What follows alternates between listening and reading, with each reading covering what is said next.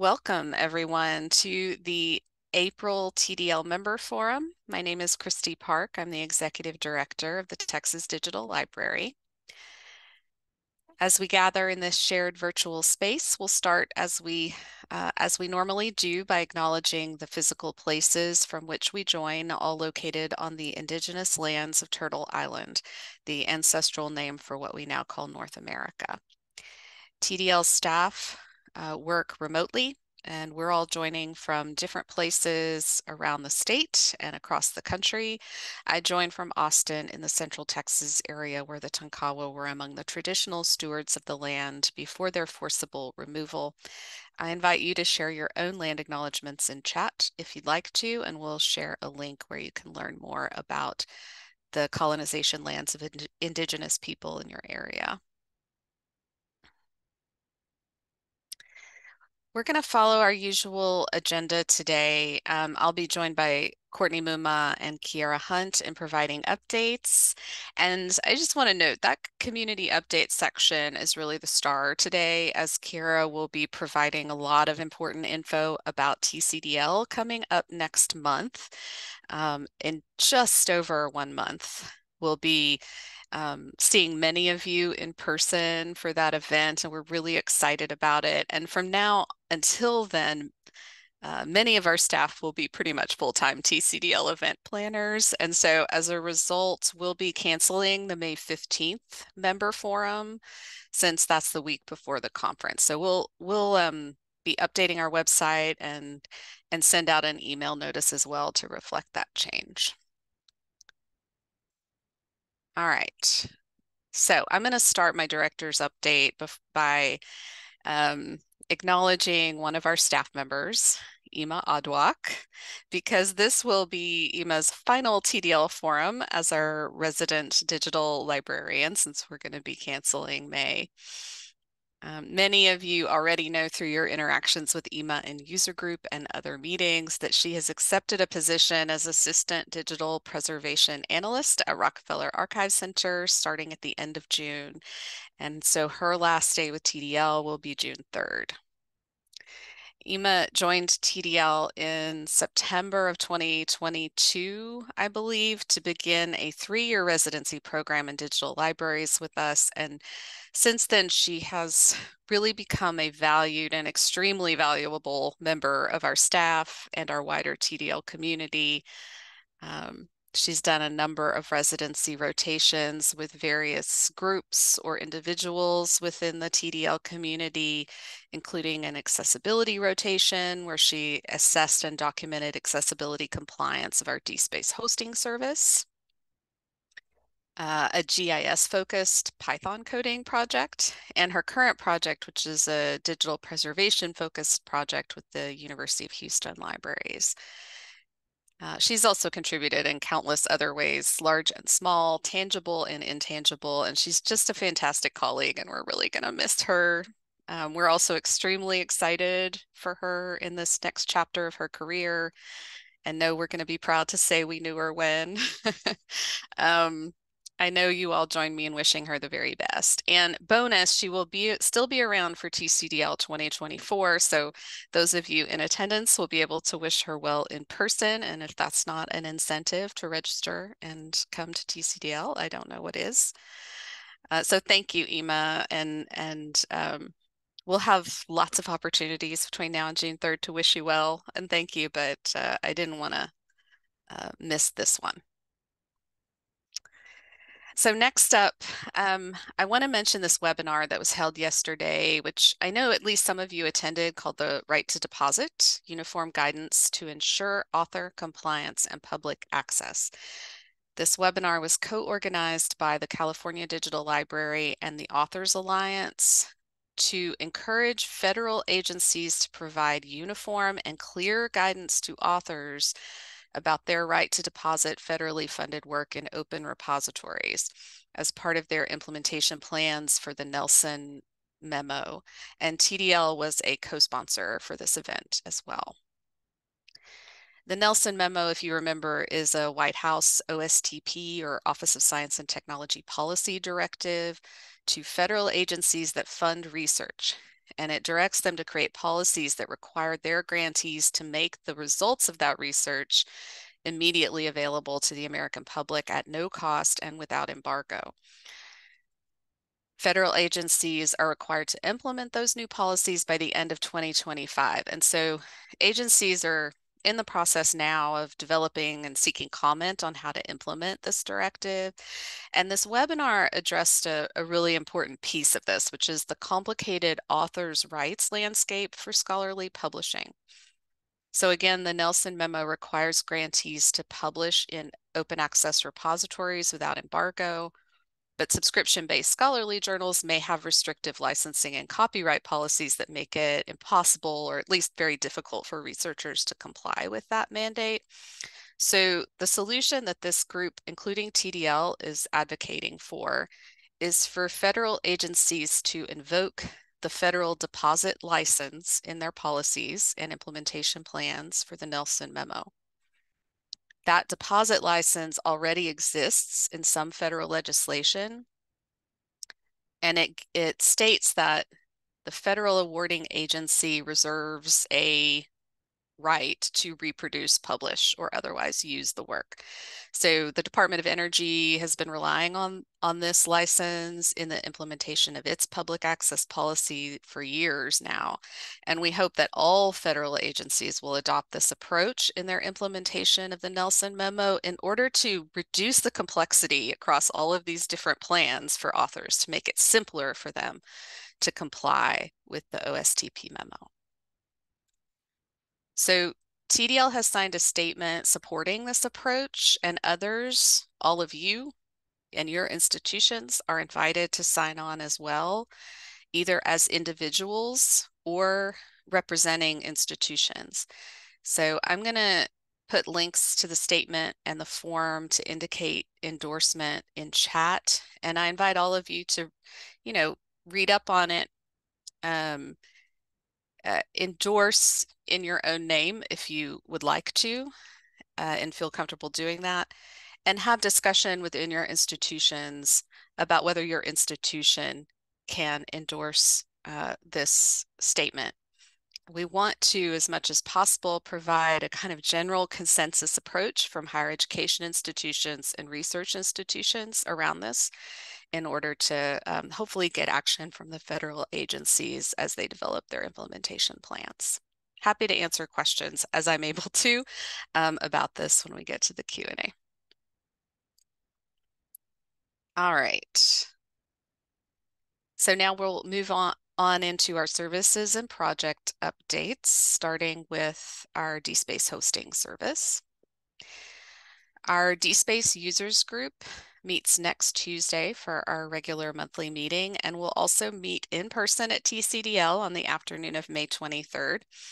Um, we'll be doing some training on embargoes in DSpace at that in-person meeting, as well as providing an overview of version 8 of DSpace, which will be released in late spring or early summer. I also want to note, and this is, I've failed to put this on the slide, that um, the DSpace Users Group has elected Lindsay Ford, Head of Scholarly Communications at the University of Houston Clear Lake, as the group's vice chair for 2024. Lindsay will succeed Emily Johnson as chair uh, next year. So congratulations and thank you to Lindsay on, on taking on that role. Finally, the call for proposals for the North American DSpace Users Group meeting is open and if you'll remember, that meeting is taking place in Minneapolis in September, and you are invited to submit a proposal by May 24th for that meeting. We would really love to see a strong contingent from our TDL community there in Minneapolis in the fall. And um, Nick Woodward and, and from TDL and Emily Johnson from UTSA are on the planning committee for that event. Um, and I know they would love to hear from you if you have any questions about that CFP or, or the meeting itself. Uh, we hope we'll have a, a good group going to Minneapolis next year. Or I guess I should say later this year. Uh, Nick Woodward has also begun a project to upgrade our 83 hosted journal sites to the latest version of OJS, um, which is uh, OJS 3.4. And I'll reiterate something that I mentioned, I think, in the last forum, which is this isn't a major new release, but there are some new features and performance improvements in, in this release. And we'll share a link in chat to some information about what's new. Um, the OJS user group will be represented in the TCDL program in an IDEA Lab session on quality assurance in open access journals, which is going to be about the process of getting indexed in the Directory of Open Access Journals or DOAJ. And Kristen Van Diest from Texas State is leading that session. It's it, it will also be supported by some ongoing collective assessment that the group is doing where we're looking at copyright and licensing policies and also preservation and archiving policies across TDL hosted journals. So those are key components of any DOAJ application. So we invite you to come to that session uh, next month at TCDL. Our OER users group will also be meeting um, in person next month, tentatively set for May 23rd at lunchtime. And the group will also be gathering socially on Wednesday evening of that week. Details on that are TBD and will be shared through the OUG email list. So be on the lookout for that. And finally, for me, um, a reminder to everybody that as a member of TDL, your institution is eligible to join the Open Education Network as a direct institutional member at the reduced membership rate of $600 or $608. That's a third of the standard annual membership cost. And direct institutional membership gets your institution your own direct individual access to many OEN benefits, as well as steeper discounts on some professional development opportunities.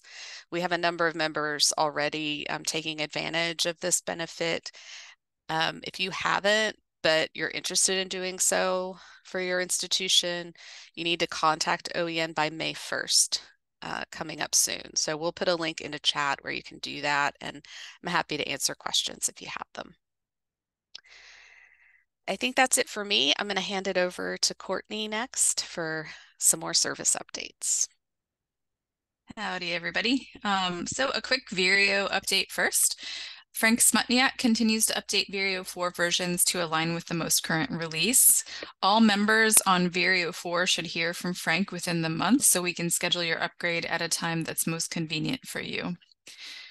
There will also be two sessions for Vireo users and curious at TCDL. There'll be an update from product manager Christopher Starcher and a birds of a feather. So we hope to see many of you there. Um, next up, the Texas Data Repository Steering Committee will also have their annual meeting at TCDL, um, and that's going to be on Tuesday, May 21st from noon until 2 in the Commons Conference Center. The steering committee is working on the agenda this month and has plans to elect a new vice chair and finalize their roadmap of projects for the coming year. Ongoing projects include strategies for sensitive and larger data sets, as well as data retention and preservation. The Digital Preservation Interest Group meets quarterly and will gather tomorrow afternoon at 2 p.m. In addition to supporting each other's successes and challenges, as we usually do, we'll also have Dr. Nancy McGovern of Global Archivist as our special guest. Um, some of you may have been present during Dr. McGovern's presentation of some soon to be released digital preservation decision trees last week. In tomorrow's meeting, you'll have another opportunity to give feedback and get some expert advice. The decision trees themselves will be released on May 1st via regular TDL communications channels. And the Digital Preservation Interest Group will also meet at TCDL in person on Thursday, May 23rd from 8 to 9 a.m. at the Commons Conference Center. So now DPLA and TextHub. The April quarterly harvest for the DPLA TextHub is in progress. Thank you for updating your new collections and metadata changes within the deadline.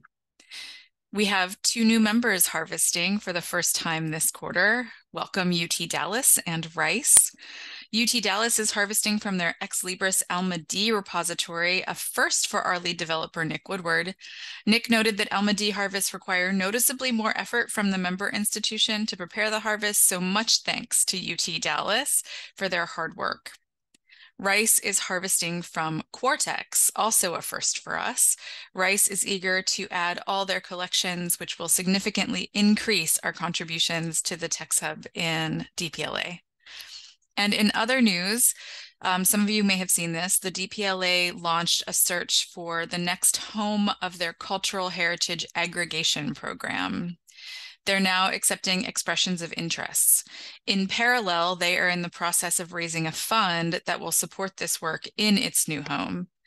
DPLA expects for the new home to be in place by the first quarter of 2025, so they hope to inform us of the selection um, of the new home by July. And of course, we'll share any new information with you as we get it.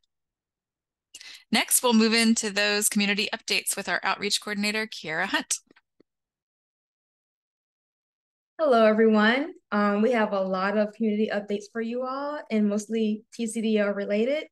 So first up, um, you can now view the schedule outline to start planning your TCDL experience the outline is a bird's eye view of when and where sessions will take place during the conference. Um, so here's what's happening at the conference.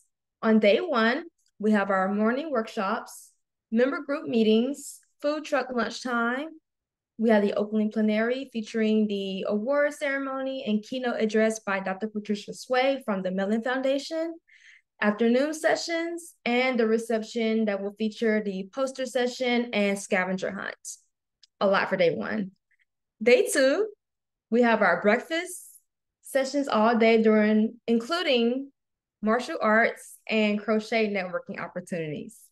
Weird combination, but it's gonna work. It's gonna work. Um, we're excited. We also have uh, opportunities for professional headshots, and we will, of course, have lunch. And then moving on to day three, we will have breakfast, morning and afternoon member group meetings, mostly morning sessions, and then we'll have our closing plenary and um, of course lunch. So it's going to be jam packed for the conference. The full program schedule will be out soon with more details for each session, but right now you can view that outline so you can just start planning everything and to have an amazing experience at the conference. Um, we'll share more details about the outline and um, of course you can meet Dr. Hswe and read her bio. Next up, you can check out our TCDL resources, including our special hotel rates for the Hampton Inn and Fairfield Inn and Suites near the Domain area, which is really close to the Commons Conference Center. We also have recommended local restaurants, coffee shops, stores for last minute necessities, and more. The speaker orientation will be on Tuesday, April 30th from 2 to 3 p.m. for all of your FAQs, uh, you can also see the calendar invite in the chat for that. The poster orientation and scavenger hunt details will be emailed to all of the poster presenters. And we'll also be publishing the FAQs on TDL.org. So keep an eye out for that. And you can see the chat for all of these important links. Next up, and of course, um, we're calling all of the early birds to please register for TCDL before May 3rd. The early bird ticket rate for TDL members is $300, and the rate will then increase to $350 for TDL members after May 3rd. And then that registration deadline will be May 17th. If you do have any questions about registration, please feel free to contact us at info at tdl.org. And then we'll share that registration link in the chat. Next up, the call for proposals is now open for the Virtual Digital Library Federation or DLF Forum happening October 22nd to 23rd. The submission deadline is Wednesday, May 15th at 10.59 p.m. Central Time. You can see the link in the chat to read all the full CFP and submission um, information so you can submit your proposals. If you're curious about submitting a proposal, there will be a CFP office hour session on Tuesday, April 30th at 12 p.m. Central Time, so you can learn more. So submissions from all sectors, backgrounds, and career stages are welcome. And you can join DLF and share your insights in digital libraries, cultural heritage, education, pedagogy, and more. And we'll share those details in the chat for you all. Next up, here are the upcoming meetings and events happening at TDL. These meetings and events are, of course, free and open to anyone, and you're always welcome to invite your campus partners and non-TDL member colleagues in your network to join us. So first up, we have Thursday, April 18 at 2 p.m., the Digital Preservation Interest Group meeting. And on Monday, April 22nd at 3 p.m., we have the DSpace User Group meeting. Friday, April 26th at 2 p.m., we have the GIS Interest Group meeting. And again, on Tuesday, April 30th at 3 p.m., we have the TCDL speaker orientation. So you can check out all of our upcoming events and the May what's happening in the chat. Next slide, please. As always, and lastly, Texas Digital Library celebrates collaboration amongst our community and with external partners and connects local work to a global ecosystem of digital library efforts. We offer many ways for current, new, and potential members to engage with our community, and you can view the latest updates and announcements for upcoming meetings, events, and programs on our special on our social media channels, in our biweekly newsletter emails, and designated email listservs. We share the link, we'll share the link in the chat for you all to get involved with us and connect with us. And don't be shy. You can tag us on social media and we'll love to engage with you all. It'll mostly be me. All right, and those are all of our community updates for now. For any questions, please email us at info at tdl.org. And thank you all, and I'll hand things back over to Kristi.